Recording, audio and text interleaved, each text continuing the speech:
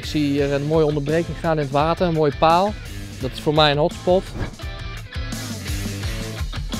Eerste worp met de dropshot. Goede wissel dus. Hè? Prachtig. Yes! Volgende.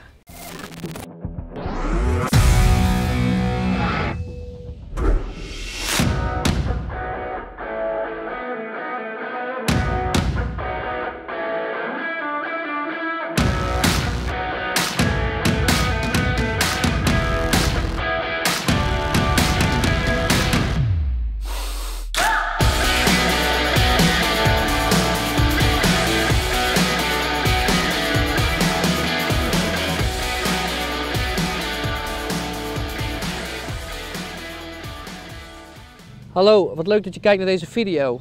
Vandaag ben ik zonder boot, dus ik ga lekker vanaf de kant vissen. We hebben hier een hele mooie rivier, verderop een kanaal. Ik heb er super veel zin in. Let's go!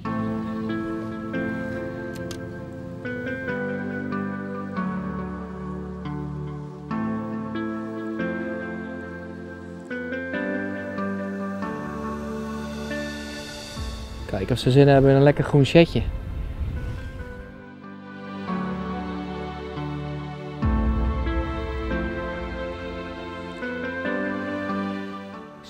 Mooie onderbreking staan in het water, een mooie paal. Dat is voor mij een hotspot. Meestal ligt daarachter een eh, uitgesleten kuiltje. En ehm, zoals gewoonlijk, wat ik vaker vertel, ik begin eerst het stukje een beetje voor mijn voeten.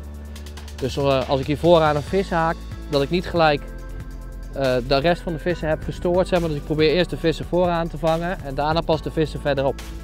Dus dat is eigenlijk altijd mijn standaard, of mijn, mijn basistechniek. Dichtbij beginnen en steeds wat verder weg vissen. En hem daarna vervolgens helemaal eh, uitwaaien in een waaierpatroon. Ik heb het water eventjes bekeken. Het, het lijkt helder, maar toch een klein beetje troebel. En als het een klein beetje troebel is, begin ik toch heel graag met een felgroen setje. Lemon lime is gewoon eh, een allround kleur die meestal op alle rivieren vangt. Dus begin met lemon en lime.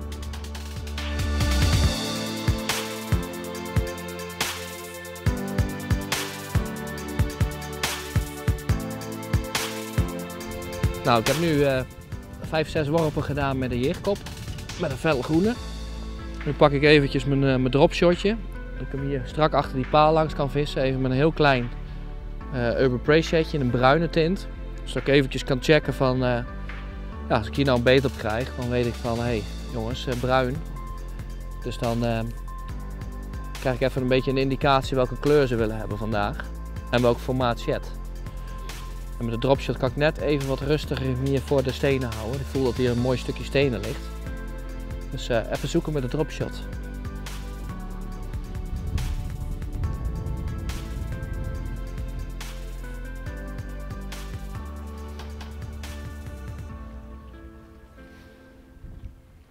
Ja, ja, direct. Eerste worp met de dropshot. Lekkere tik. Oh, wat mooi is dit zeg. Even uitkijken dat hij niet achter de paal gaat. Oh, heerlijk zeg. Mooi vis. Dat is lekker sterk. Even het kantje halen. Hoppakee, in het netje. Lekker. Goeie wissel dus. Hè? 6, 7 worpen gemaakt met een jig met een groene kleur. Dropshotje, bruine kleur.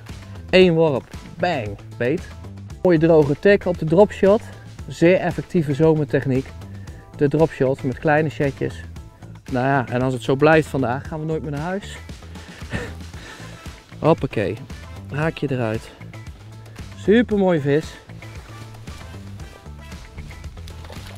Hij wil alweer er vandoor. Kijk eens. Hoppakee. Zo gooi je hem ook niet op de stenen. Prachtig. Yes! Volgende. Ik zal nog even uitleggen waarom ik voor dit bruin-witte heb gekozen. Als ik binnendraai zie ik nu in de kanten heel veel speldaas en dat, dat schiet weg. Want dit setje heeft een beetje een, heeft een witte onderkant en die flankt. Dus dat, dat doet precies dat, speldaas na wat hier nu op dit moment aanwezig is. Nou, hup, het volgende worp. Tweede worp met de dropshot. Daar gaan we. Nou, ik heb hem iets verder ingegooid net. Even voorbij de paal. En misschien kunnen jullie dat zien als je het water bekijkt, zie je een stroomnaad lopen ongeveer een meter of tien na die paal. En dat is, dat is voor mij een indicatie dat daar een teluut loopt. Dus vanaf de kant stroomnaden in de gaten houden zijn precies vaak het onder water het teluuts te vinden. Dus, en ik verwacht dat dat snoekbaasje precies daar op de rand lag. Dus daar zal ik hem eens even weer heen gooien. Nu ik hier sta, ik heb heel erg de wind van zij. En die wind die blaast natuurlijk ook heel erg in je lijn. En nu merk ik als je dus heel ver moet gooien met een jig en je vist heel licht, bijvoorbeeld 10 gram of 7 gram, dan heb je heel veel bocht in je lijn. En met een iets zwaardere dropshot merk ik dat ik gewoon wat strakker, bijvoorbeeld hier langs de paal kan vissen. Omdat dat, dat, wat, dat ik met een dropshot wat zwaarder kan vissen als met mijn jig. En omdat ik die bij de bodem hou, heb ik wat minder last van die bocht en van die, uh, van die wind op mijn lijn nu. Waardoor ik toch verder weg iets geconcentreerder kan vissen nu als met mijn jig. Dus dat vind ik echt een goede tip om uh, als je heel voorzichtig op afstand wil vissen, probeer echt de dropshot. Maar ik doe nog drie worpen met mijn dropshot ver weg. En dan vervolgens ga ik uh, eh, 10 meter opschuiven. Om dan weer te beginnen met de jig. Dan vis ik hem eerst weer jiggend uit. En dan vis ik hem daarna nog twee, drie keer af met de dropshot. En zo is mijn plan nu om eventjes het komende uurtje steeds een stukje verder op te schuiven.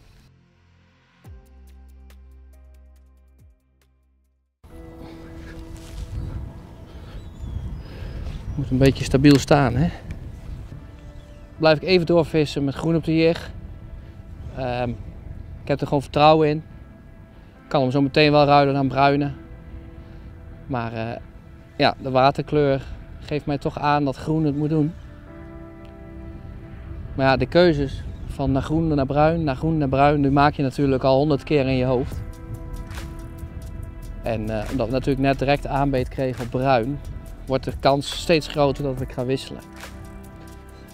We hebben natuurlijk uh, de Insta-chat met exact dezelfde mooie bruine kleuren met een wit buikje. Dus uh, ik doe nog vijf worpen met de groene. En dan gaan we eens even over naar een bruin op.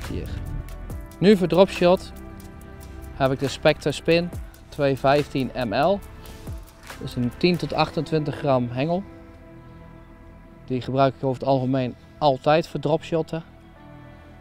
Gewoon omdat hij lekker strak is, goede topactie, precies wat ik zoek in een hengel.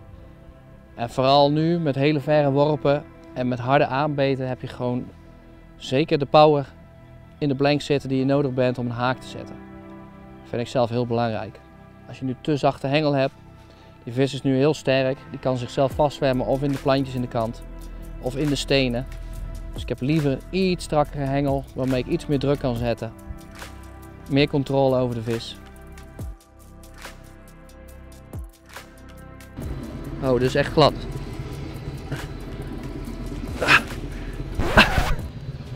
Wat ik nu gedaan heb, ik heb op de dropshot een insta-wormpje gezet. Bruin.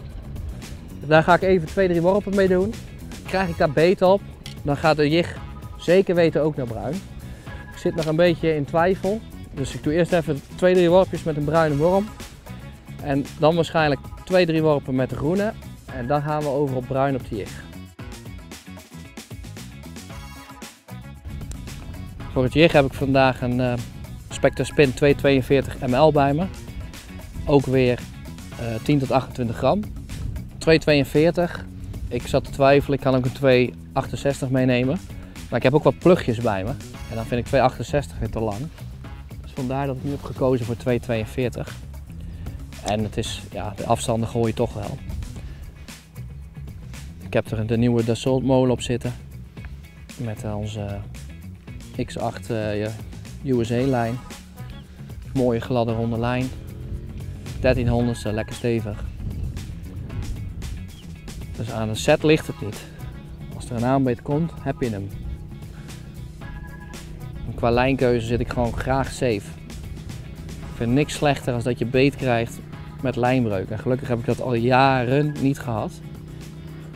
Puur doordat je kiest voor kwaliteit lijn. Nou, de groene chat gaat eraf. Waarom? Er komt steeds meer zon en ik kan steeds verder kijken in het water. Het wordt steeds helderder voor mijn gevoel. Dus ik ga even wisselen naar bruin. Ik zie hier net hele kleine speldaasjes zwemmen in de kant die er heel donker uitzien. Even een bruin shirtje eraan en kijken waar ik mijn geluk vandaan kan halen vandaag. Het ideale is, ik heb mijn tas goed volgepakt met zakjes sheds. En aan de labeltjes met de kleurtjes hoef ik alleen maar even te kijken van, hé, hey, waar zie ik Instashed? Hier zie ik de Instashed. En heb ik de juiste te pakken. Dus ideaal onze kleurlabels. Hou dat in de gaten. Elk model uit de Insta-serie heeft zijn eigen kleurtje.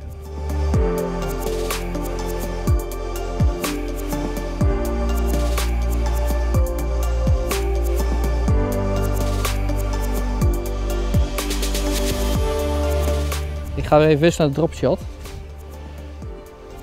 Om te kijken of dat er een, een snoekbaasje gewoon heel lazy onderaan het teluut ligt. Die niet al te veel zin heeft om hard te zwemmen achter een jig aan.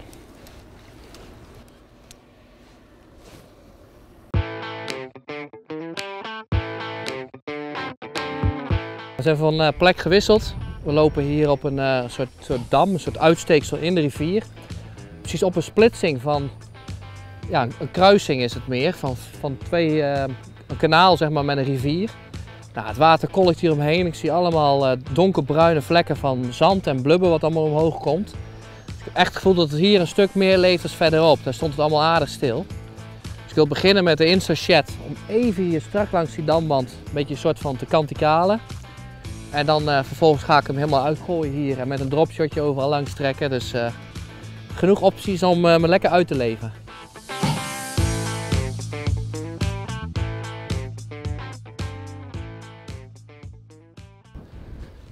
Ik wil nog één keer uh, een stek helemaal goed uitvissen. En dan uh, denk ik dat we straks even een bammetje eten en dan naar een volgende stek rijden. Gewoon een totaal ander water. Even proberen dat ze daar wel aanstaan, want ze staan nu verschrikkelijk uit. En misschien gooien we dan een 6. Dus dat is leuk. Dus even nog even deze stek helemaal uitvissen met een jig en dropshot. En dan verkassen. Nou, die volgende stek die ik op het oog heb is echt een, een mooi kanaal met een, met een hele grote sluis die af en toe het water daar erin pompt, waardoor je echt heel veel stroming krijgt en heel veel werveling. Waardoor die bodem is echt super hard. Mooie troebel, troebelkanaal. En uh, ja, kijken of dat daar de snoekbaas wel aan staat, want uh, blijkbaar staan ze hier echt helemaal uit. Ja, we zijn gewisseld. Even een totaal andere omgeving. Een kanaal met een sluis, met een harde uitstroom. Hiervoor een hele harde bodem. Af en toe dan blaast de sluis heel veel water eruit, dus het begint hier echt hard te stromen. Het water is hier veel troebeler, dus mooi donker water. Een vel eraan. Nou, even aftasten wat, uh, wat werkt. Probeer nu ik op het kanaal sta. Dat ik natuurlijk als ik naar de overkant vis, kan ik het hele breedte van het kanaal afvissen. Dus dan kan ik ook gelijk erachter komen van liggen ze nu meer in de midden. Of liggen ze nu meer echt hier strak tegen de kant vis hem hier ook echt strak onder de kant door. Dus dat ik echt zoek van, uh, liggen die vissen hier strak tegen de damwand aan. Daar is ook de schaduw, dus liggen ze in de schaduw. En zo probeer ik eigenlijk wel even een beetje uit te zoeken waar ze zijn.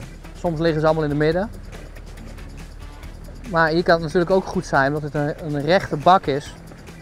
De rivier heb je natuurlijk uh, steenstort zo wat naar de kant toe loopt. Leggen ze op hele andere locaties als nu. Ik zal jullie even laten zien wat ik bij me heb voor een dag kantvissen. Uiteraard een onthaaktangetje en een knippertje in één, zodat ik mijn lijnen kan knippen en mijn vis kan onthaken. Ik heb gekozen voor twee bakken mee te nemen. De nieuwe TBX boxen. Ik heb een mooie hoge meegenomen en die heb ik volgeladen met sheds en mijn pluggen. Dus ik heb wat hardbeetjes bij me om te twitchen. En ik heb natuurlijk mijn werp sheds bij me. En ook nog zelfs nog wat, wat shaky heads met uh, kreefjes. Dus echt een hele bak vol sheds. Ik heb alles op, op kleur weggelegd. Dus bruin tinten, blauw, dus lemon en lime kleuren.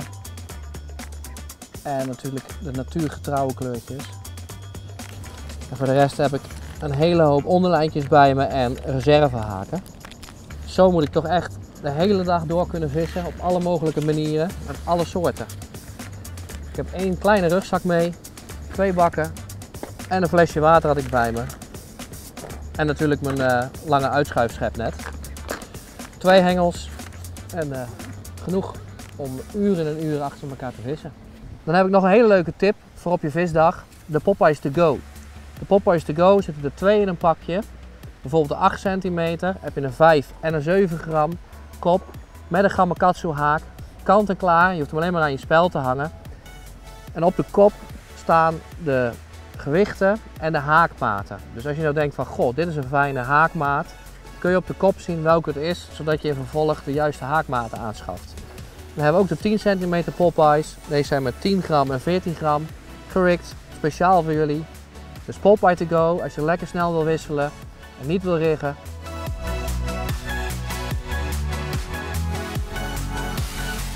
Vandaag een hele leuke maar pittige dag. Eén aanbeet gehad. Nou, ik had hem, dus niet geblankt. Welke visserij gaan jullie nou toepassen vanaf de kant deze zomer? Laat het weten onder in de comments van deze video. Abonneer je op ons kanaal. Like de video even. En wie weet ben jij een leuk pakketje om te vissen vanaf de kant. Bedankt voor het kijken naar deze video en tot de volgende keer.